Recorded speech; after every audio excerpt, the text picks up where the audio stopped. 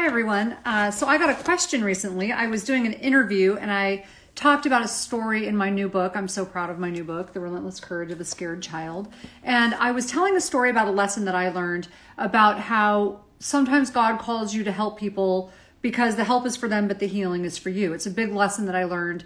Um, I had a tendency to disconnect from people in my life. But I got a question recently, and the question was, but what about toxic people? Does this mean I should do this? Um, with all people, you know, in my life. And, you know, I can't answer that for you, but I will tell you sort of how I came to this decision. Um,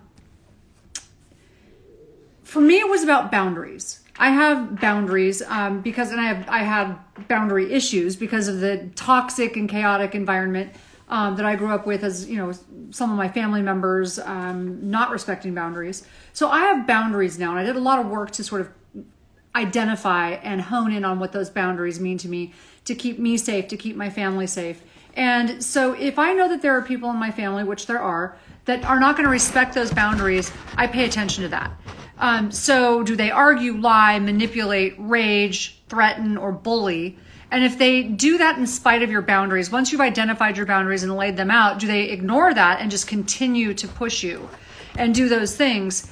And for me, if that's true, I don't feel the need to necessarily bring all of these people back into my life or certainly not back into my home because my primary for me my primary responsibility is to my my child and my husband and to keep my family and my nest safe. And yes i want to help other people but there's still a balance there and that's just how i see it.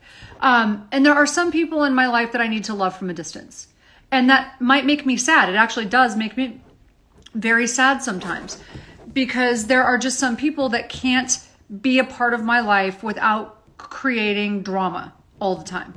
And I just don't want that for my child and my husband and my family and my marriage. And so that's when I start to love them from a distance, if that makes sense.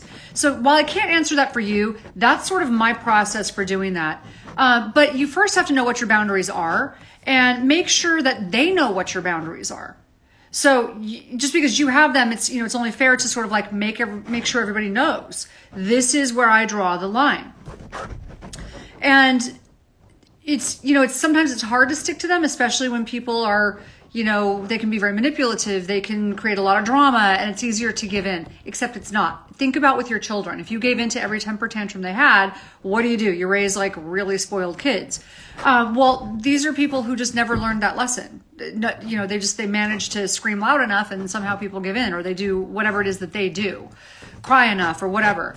Um, and so if they don't respect your boundaries, you have a decision to make, right? Are you going to give into it because it's just too painful for you to walk away? Or are you going to love them from a distance and practice self care? And that's not something anybody can answer for you because for everybody, it's a little different. I highly recommend seeing a really good skilled therapist if you're in that situation.